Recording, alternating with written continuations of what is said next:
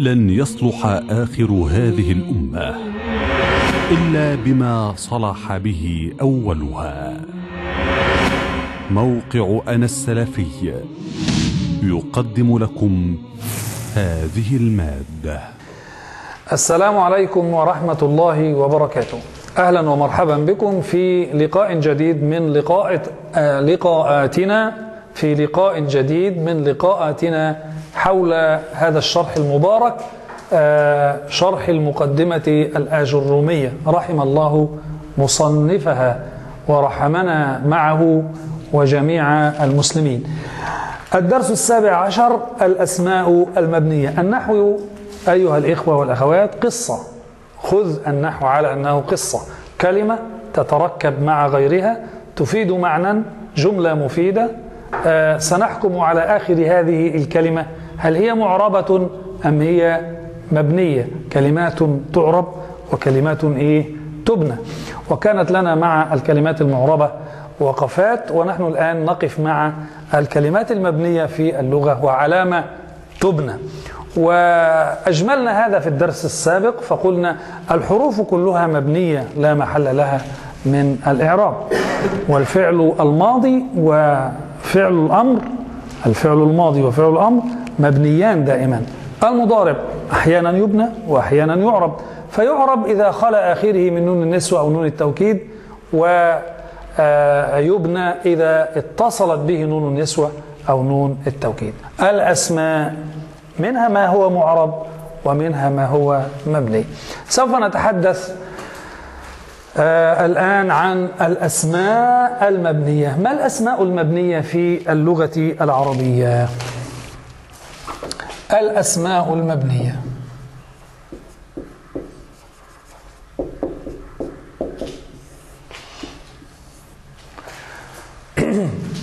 الضمائر كلها مبنية. الضمائر كلها مبنية. ما الضمائر؟ هذه الكلمة نسمعها كثيرا. الضمائر جمع ضمير. والضمير اسم يدل على متكلم أو مخاطب أو غائب. متكلم كالذي يقول أنا أو نحن. مخاطب تخاطب أنت المفرد المذكر فتقول أنت والأنثى تقول أنت والمثنى أنتما.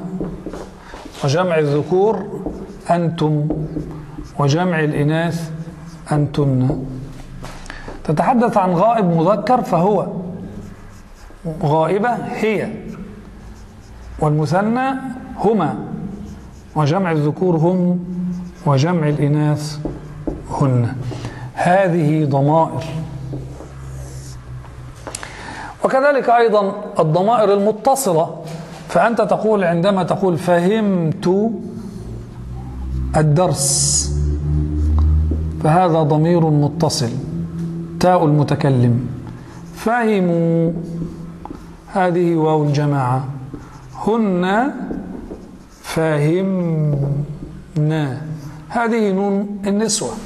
وسوف تأتي دراسة أخرى للضمائر في باب النكرة والمعرفة. دراسة تفصيلية. لكننا هنا نقول هذه الضمائر ما حكمها إذا جاءت؟ مبنية. هل يمكن أن نمثل؟ نعم. فلو قلنا مثلا أنا أحب العربية فهذه الكلمة. سوف نقول هذا ضمير. ما حكمه معرب أم مبني؟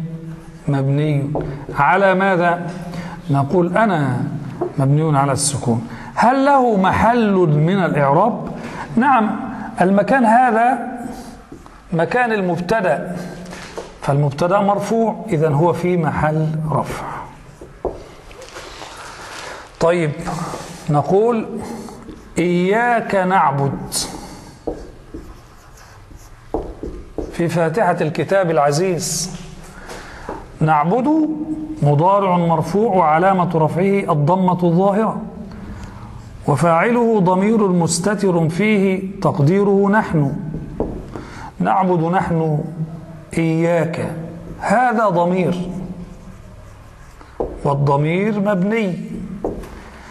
إياك على الفتح. وأيضا منهم من يقول إن الضمير إيا فهو مبني على السكون والكف في هذه الحالة ليس ضميرا وإنما هو حرف خطاب. فلو قلت إن الضمير هو إيا فهو مبني على السكون.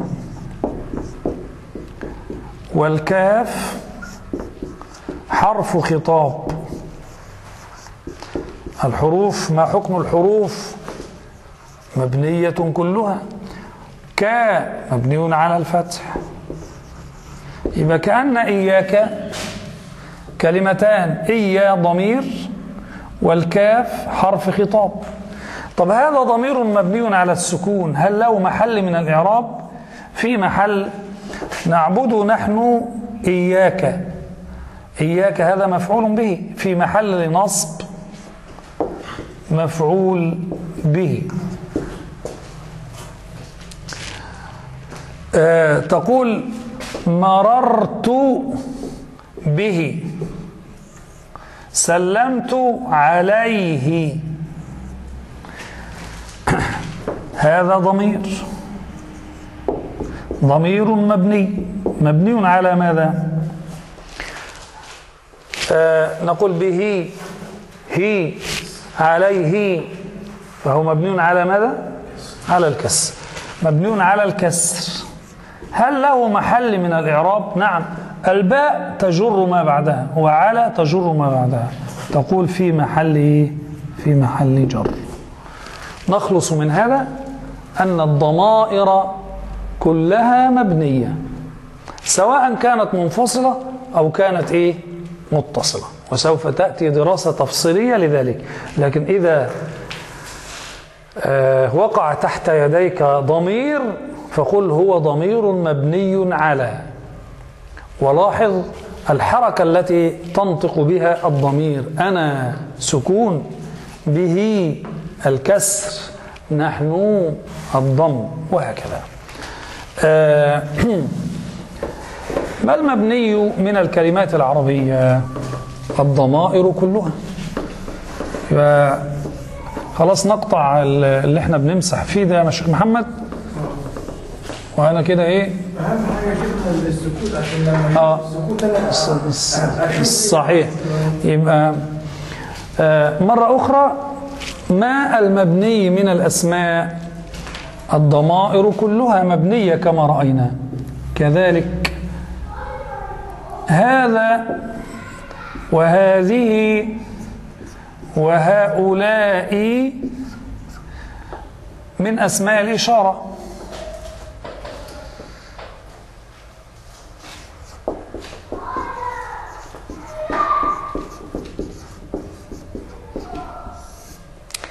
أو نستطيع أن نقول بعبارة أدق من هذه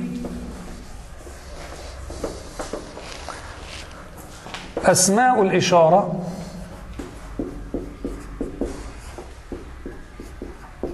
ما عدا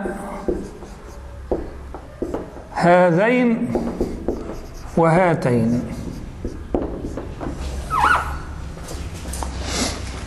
هل يمكن أن نوضح هذا بأمثلة؟ نعم.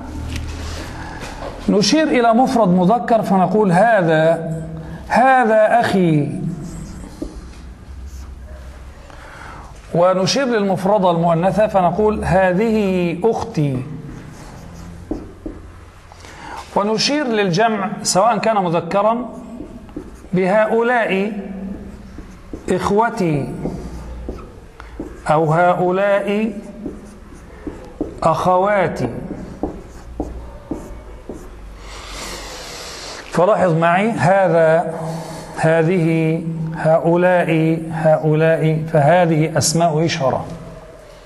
معربة أم مبنية؟ مبنية. طب لماذا استثنينا هذان هذين وهاتين؟ هذان وهاتان. هذان للمثنى المذكر. وهاتان للمثنى المؤنث. واستثنينا هذين وهاتين لأنهما تعربان إعراب بل مثنى. فلو قلت مثلا هذان صديقان.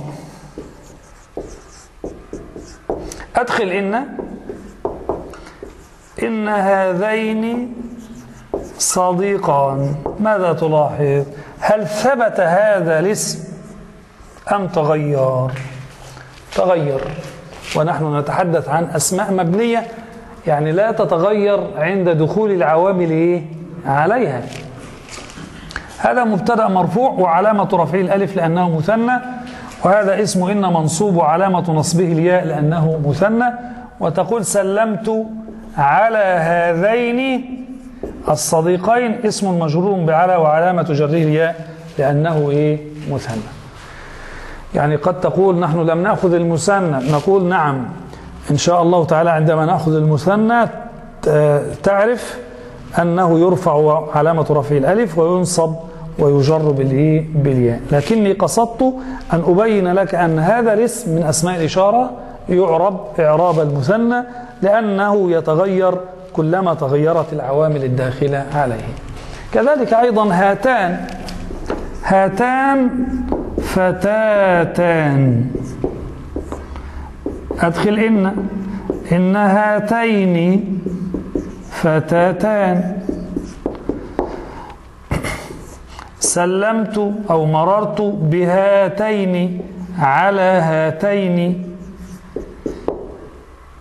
الفتاتين على هاتين. فلاحظ معي هذا مبتدأ مرفوع علامة رفعه الألف لأنه مثنى.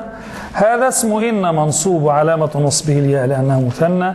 هذا اسم مجرور بعلى وعلامة جره الياء لأنه مثنى. يبقى كل أسماء الإشارة مبنية ما عدا صيغة المثنى سواء كان المذكر أو الإيه؟ المؤنث. الأسماء المبنية الضمائر كلها مبنية. أسماء الإشارة ما عدا هذين وهاتين. طبعا نحن قلنا هنا هذين مراعاة للإعراب ما عدا هذين وهاتين. لكن هما في الأصل إيه؟ هذان وهاتان. طيب آه كذلك أيضا الأسماء الموصولة مبنية ما عدا اللذين واللتين. وهما أيضا في غير السياق اللذان واللتان. فالاسم الموصول هذا إن شاء الله تعالى له باب الاسم الموصول عندما نتحدث عن المعارف والنكرات. فهو اسم يدل على مفرد مذكر الذي أو التي الذين لجمع الذكور اللائي بالهمزة أو اللاتي بالتاء لجمع الإناث. فالذي هذا اسم موصول لأنه تأتي بعده جملة تسمى جملة الصلة. فلو قلنا مثلا حضر الذي تفوق في علم النحو مثلا فلاحظ معي أن الذي حضر هو الذي حضر فعل ماض الذي فاعل. عند إعرابه نقول اسم موصول. هل هو معرب أم مبني؟ مبني على ماذا؟ على السكون. السكون الذي الياء هذه ساكنة. آه طيب. موقعه من الإعراب هذا هنا فاعل. الذي حضر. الذي هو الذي إيه؟ حضر. فهو فاعل. الفاعل مرفوع. نقول في محل إيه؟ في محل رفع. طيب قرأت القصة التي التي اسم موصول. مبني أم معرب؟ مبني. على ماذا؟ على السكون. ما محله الإعرابي؟ أنا أقول لك هو نعت للقصة. والقصة منصوبة ونعت المنصوب منصوب. إذا هو في محل نصب نعت. أنا لا أريد أن أشق عليك في معرفة النعت والحال والتمييز هذا سيدرس. إنما أن, أن تعرف أنه مبني. الذي مبني التي مبني الذين اسم مبني.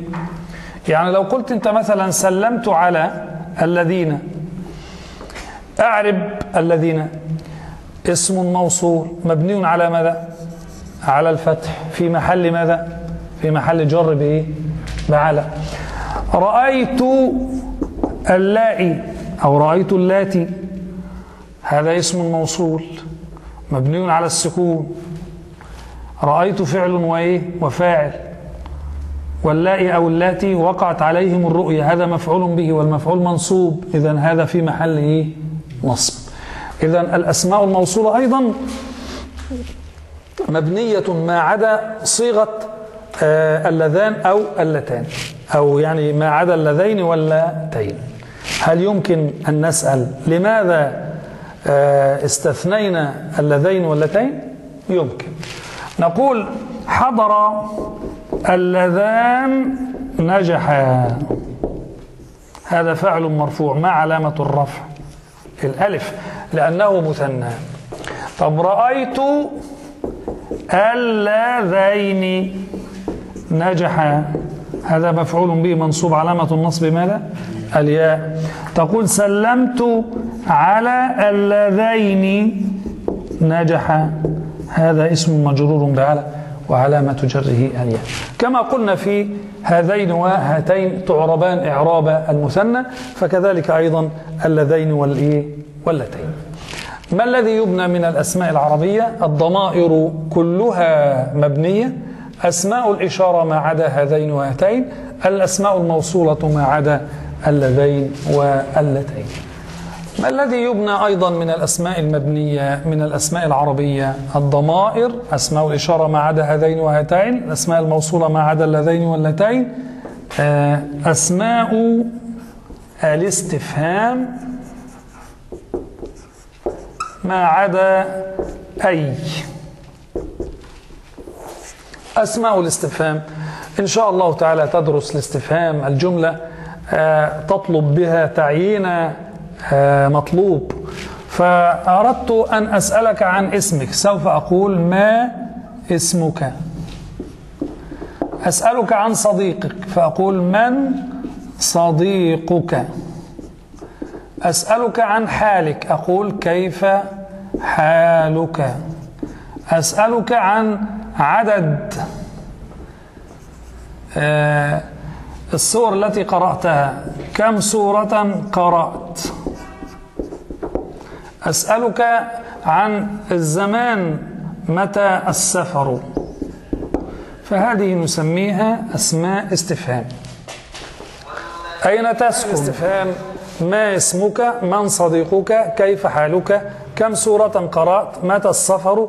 أين تسكن؟ هذه أسماء استفهام. كلها مبني كلها مبني. ما مبني على السكون؟ من مبني على السكون؟ كيف مبني على الفتح؟ كم مبني على السكون؟ متى على السكون؟ أين مبني على السكون؟ فأسماء الاستفهام كلها مبنية. لكن في محل ماذا؟ اترك هذا حتى إيه؟ ندرسه في بابه إن شاء الله تعالى. فلكن أسماء الاستفهام مبنية. مبنية. أي استثنوا أي لأن أي معربة. فأنا أقول أي كتاب قرأته. هنا هي مبتدأ. وأقول أي كتاب قرأت؟ هي هنا مفعول به. وأقول بأي صلاتك اعتددت الباء حرف جر وأي اسم مجرور. ماذا تلاحظ؟ أي أي أي يبدو أن هذا الاسم من أسماء الاستفهام معرب أم مبني معرب. إذا أسماء الاستفهام ما عدا أي.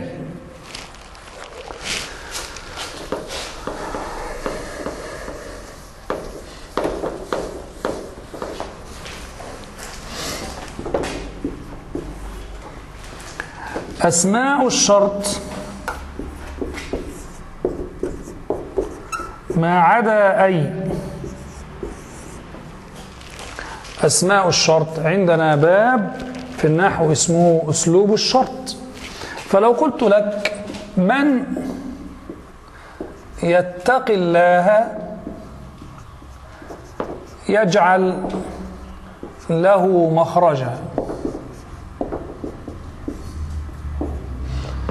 ففي الحقيقة هاتان جملتان. جملة يتقي الله وجملة يجعل له إيه؟ مخرجا. والأولى شرط في الثانية.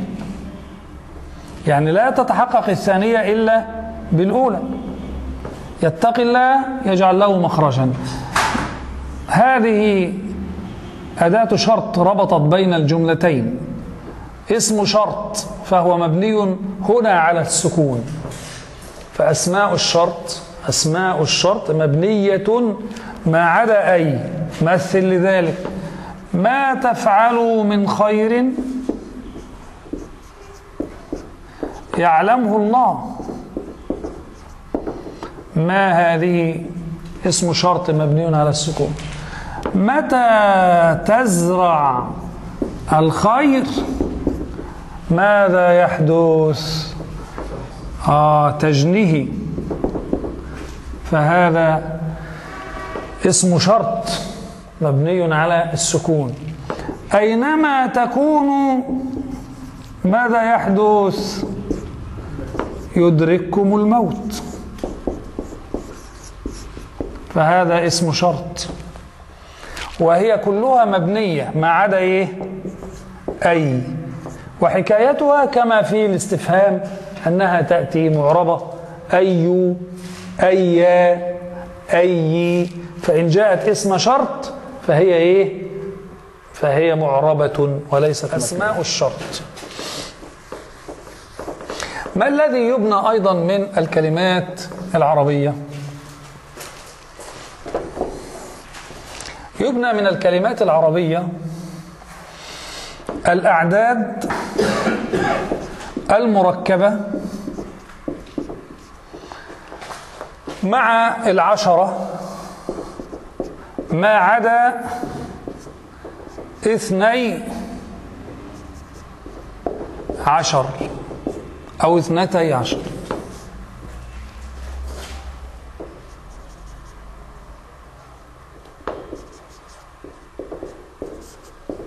نريد أن نفهم. العدد 11 دع آه اثني عشر أو اثنتي عشرة العدد ثلاث عشرة حتى آه تسع عشرة هذه الأعداد. الواحد تركب مع العشرة الثلاثة مع العشرة الأربعة مع العشرة الخمسة مع العشرة التسعة مع العشرة تسمى الأعداد المركبة. وهذه الأعداد هذه الأعداد المركبة مع العشرة. مبنية دائما. فعلى ما تبنى تبنى على فتح الجزئين. أنا أطمئن إخواني وأخواتي هذه رؤوس دروس سوف نعود إلى تفصيلها إن شاء الله تعالى في بابها. ولكن ما الذي نفعله الآن؟ نحن نقول إن الكلمات العربية معربة. وبعضها مبني الحروف كلها مبنية. الأسماء منها ما هو معرب ومنها ما هو مبني. فإن عرفت ما يبنى منها دائما وما يبنى منها في مواضع معينة تستطيع أن تحكم بالإعراب على ما بقي. فما الذي يبنى من الأسماء المبنية؟ الضمائر كلها مبنية. تستطيع أن تقول عندما أجد ضميرا أقول ضمير مبني على كذا في محل كذا. عندما تجد اسم إشارة آه، غير هذين وهاتين تقول اسم إشارة مبني على كذا في محل كذا. والأسماء الموصولة ما عدا اللذين واللتين وأسماء الاستفهام وأسماء الشرط ما عدا إيه؟ أي. كذلك يبنى هذه الأعداد. تبنى على فتح الجزئين أي تبنى على فتح الجزء الأول والجزء الإيه؟ الثاني. عندنا باب باب العدد في النحو. لكننا نقول إذا وجدت تقول مثلا حضر كم حضر اليوم؟ حضر أحد عشر طالبا. الفعل حضر فعل ماض. لا بد أن يكون له فاعل. من الذي حضر؟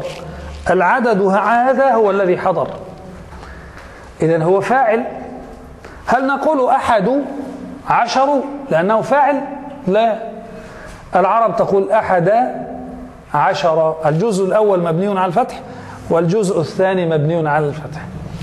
فلنقول فلنقل رأيت أحد عشر كوكبا. إني رأيت أحد عشر كوكبا. رأيت هذا فعل وفاعل. الرؤيا وقعت على ماذا؟ وقعت على العدد. العدد مفعول به منصوب. فهل هذه فتحة النصب؟ لا هي فتحة البناء أحد عشر.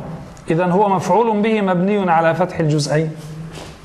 طيب سلمت على أو مررت ب أحد عشر رجلا.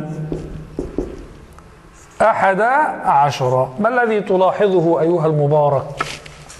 نلاحظ أن العدد أحد عشر هنا في محل رفع لكن الجزء الأول مبني على الفتح والجزء الثاني مبني على الفتح. وهنا في محل نصب وهو مبني على الفتح مبني على الفتح. وهنا في محل جر مبني على الفتح مبني على الفتح. فاحكم أن مثل هذا العدد مبني دائما على فتح الجزئين. هل هذا يخص العدد أحد عشر فقط؟ لا. أي عدد من ثلاث عشرة إلى تسع عشرة؟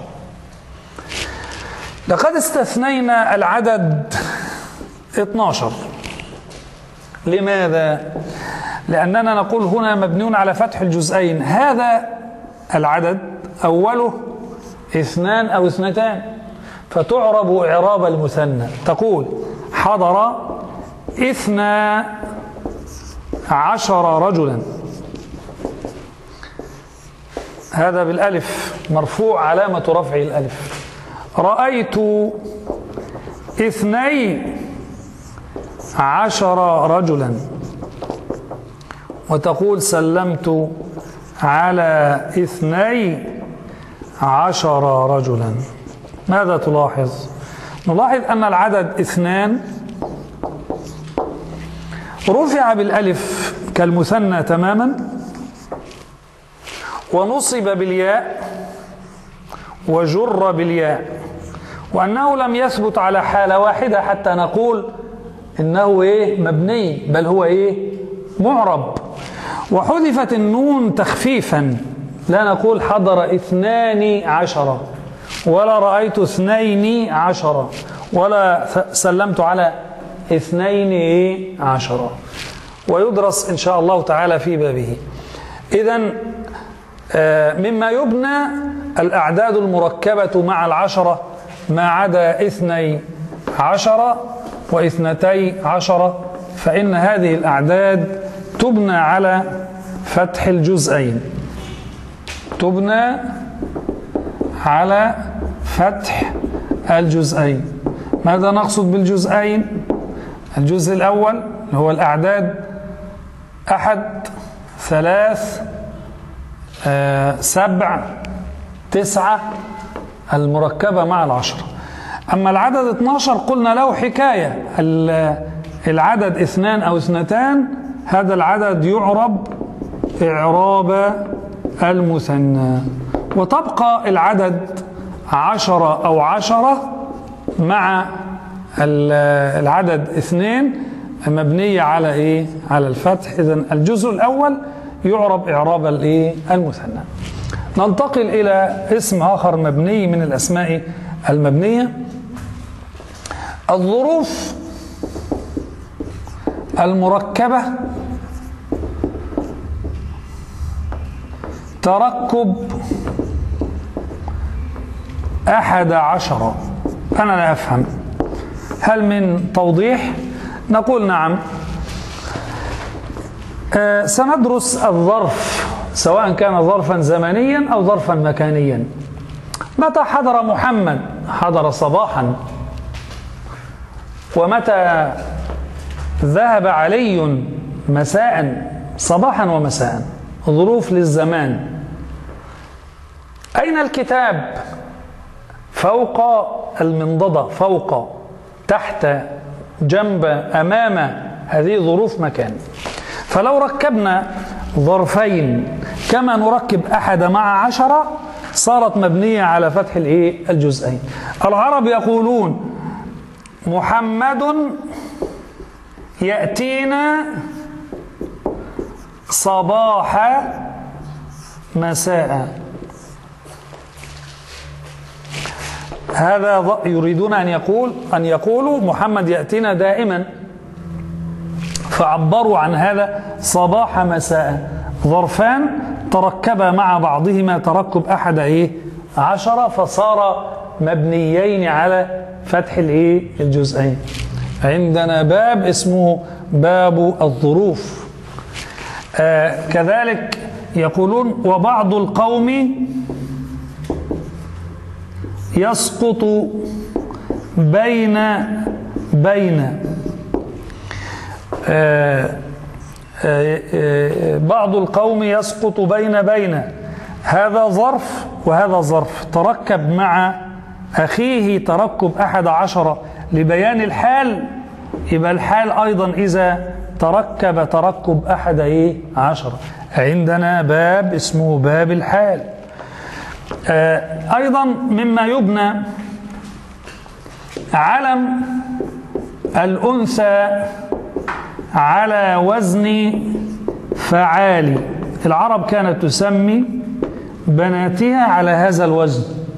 فعالي يعني يقولون فطامي وحزامي. علما ليه لأنثى. فطامي وحزامي. وطبعا هم يست يعني يستشهد النحاة بقول الشاعر في حزامي هذا. إذا قالت قالت حزامي فصدقوها.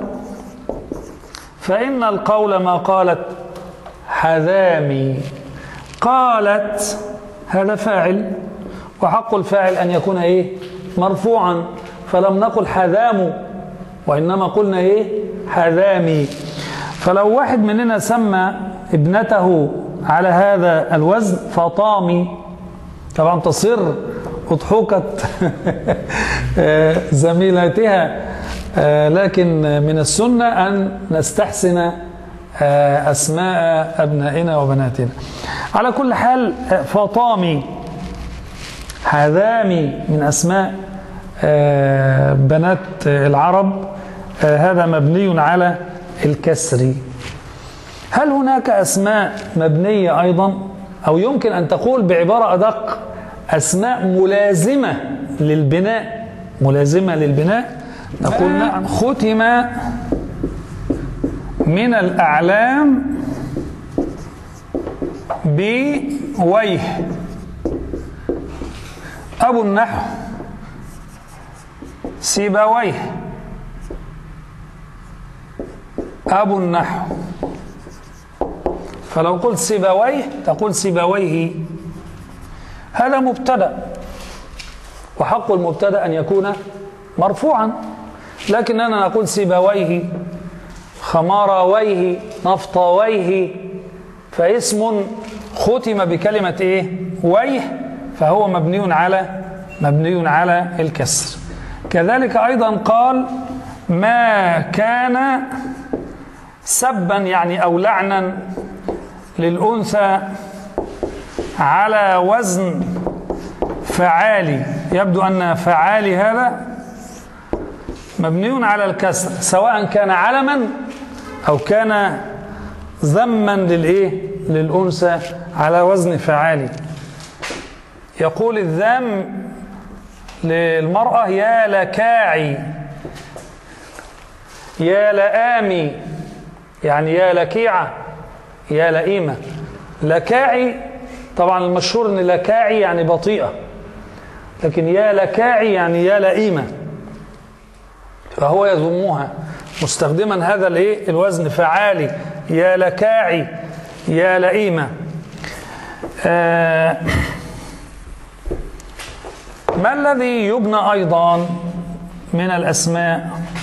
بعض الظروف تبنى. مثل الآن حصحص الحق. الآن مبني على الفتح. حيث مبني على الضم. منذ مبني على الضم. أمس بشروط معينة مبني على الكسر. يمكن هنا بقى أن نختصر ونقول هناك أسماء معربة تبنى في دروس خاصة. وهذا قد أشرت إيه؟ أشرت إليه عندما قلنا رجل هذه كلمة معربة. فلو قلت مثلا لا رجل في البيت إن شاء الله في درس اسمه لا النافية للجنس هذا اسم لا مبني على الفتح. هل هو مبني دائما مثل الكلمات المبنية دائما؟ لا هو لأنه هنا في هذا المكان اسم لا النافية للجنس مفرد فهو مبني على الفتح. ناديه آه نكرة آه مقصودة فتقول يا رجل انتبه فهذا منادى مبني على الضم. إذا هو ليس مبنيا دائما وإنما هو معرب ولأنه وقع هنا منادى وهو نكرة مقصودة بني على الإيه؟ على الضم. أخشى بعد هذا الجمع أن تستصعب أنت هذا. نقول لك لا لا لا تستصعب.